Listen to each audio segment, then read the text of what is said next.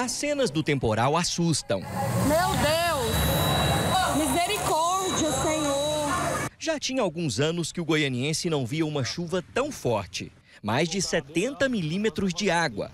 Ventos acima dos 70 quilômetros por hora. As consequências vieram rápido. Queda de energia, alagamentos, árvores caídas, carros levados pela chuva. Vai aqui, levando o carro do, do, na rua, velho. Vê se tem base aqui, não pode até quatro. O volume de água aqui tá gigante. Até o Cascavel transbordou. A marginal virou corredor de água. Rapaz, é água aí, ó. A baixada da Vila Aurora. Meu Deus do céu, olha o perigo. Caiu um motoqueiro aí, só Deus na causa. Uma força-tarefa foi organizada pela prefeitura com urgência para ver de perto os estragos. No domingo cedo, a equipe foi para a rua. O prefeito em exercício esteve na Vila Alpes. Depois seguiu para a Marginal Cascavel. No setor São José, a chuva sempre traz junto o medo nos moradores. Essa é a situação que está aqui na rua, ó, tá todo mundo ilhado.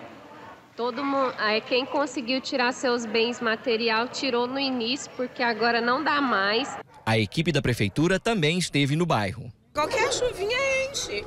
Mas vamos cuidar disso. E não é só questão de rua, não. A questão que é muito além de limpeza de rua. Isso aqui, tá? Agora a gente está aqui na parte mais baixa do setor São José.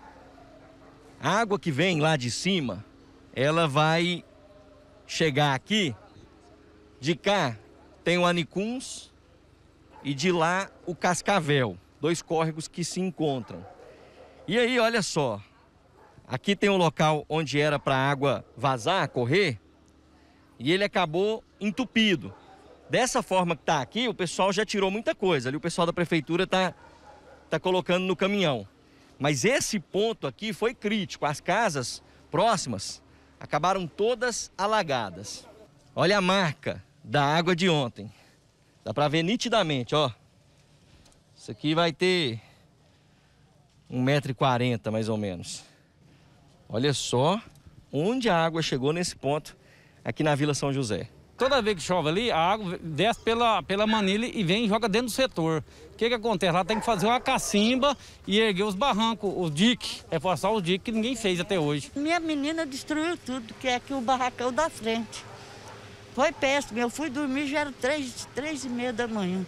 A Força Tarefa também visitou a Vila Roriz. O setor margeia o rio Meia Ponte.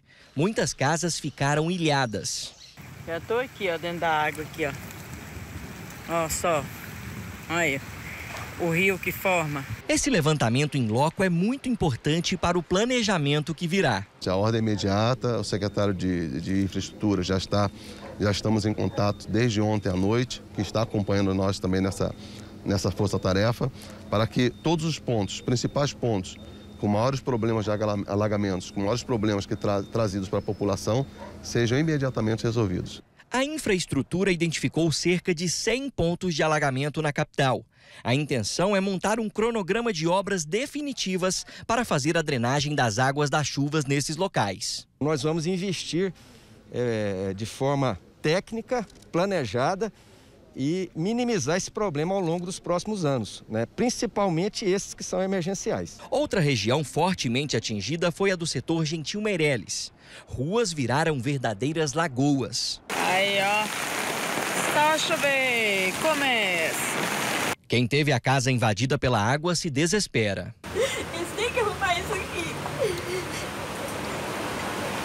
Quanto tempo faz de tá esperando, esperando, não faz nada, não faz nada. A questão nossa principal é porque a água do rio ela volta pelos bueiros. Lá no meio da rua tem um bueiro, uma manilha, que a água supita para cima. Então a água fazia voltar. Naquela cena que a gente vê, feita por celular, por moradores aqui da rua Miró, no setor Gentil Meireles, a rua toda alagada, é bem nesse ponto aqui que a gente está onde agora restou só o barro. E quando a gente vê aquela mina de água, minando forte ali, era nessa tampa aqui. Olha a força da água, uma tampa pesada dessa aqui, ó. E a água conseguia supitar por aqui. Por quê? Porque a rua está mais baixa do que o nível do córrego. O córrego enche, dá para a gente ver, por exemplo, que a água não estava chegando lá na frente. Não estava correndo enxurrada aqui. Alagou isso aqui tudo. A própria água do córrego, como sobe de nível, ela caça um lugar para sair. E é geralmente por aqui. E a gente vê a situação que a rua fica depois de tudo. São mais intervenções simples que não precisam de muita verba, é umas são intervenções simples. Como nós vimos lá na ponte da, da Vila Alpes, é, era algo que foi feito, não deveria ser feito, né? uma abertura simples que causou um dano muito grande. Mas essa atenção está sendo dada a toda a população, será dada a toda a população em condições de fazermos aí o que é preciso fazer para que não se torne mais grave problemas com isso. Temos aí, afinal de contas, temos alguns dias de chuvas ainda.